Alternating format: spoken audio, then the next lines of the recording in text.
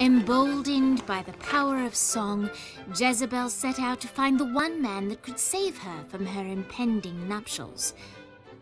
Fortunately for her, Johnny's trail of destruction wasn't too hard to follow.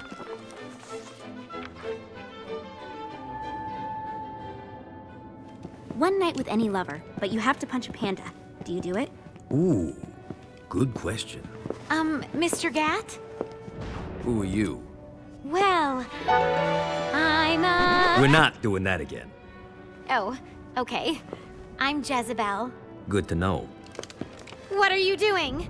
Threatening you. You're not marrying the president. I don't want to marry the president. Wow, that was easier than I thought. My dad's making me do it.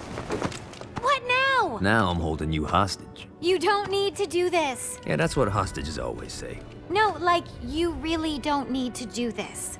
I'm here to help you. Yeah, but I already have the gun drawn, so, uh... Are you kidding me? Maybe. Not sure yet, I'm kinda winging it.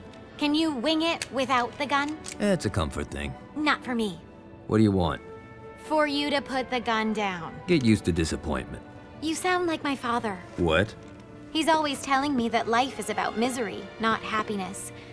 That dreams only exist to make people forget about their own mediocrity.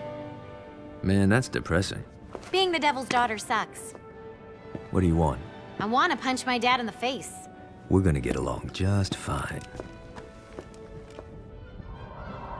Of course, Jezebel was speaking metaphorically, but Johnny didn't notice.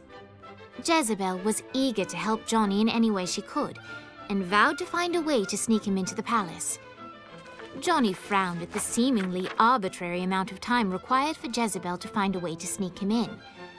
But he accepted the fact that without traditional missions, this was the best way to further the story.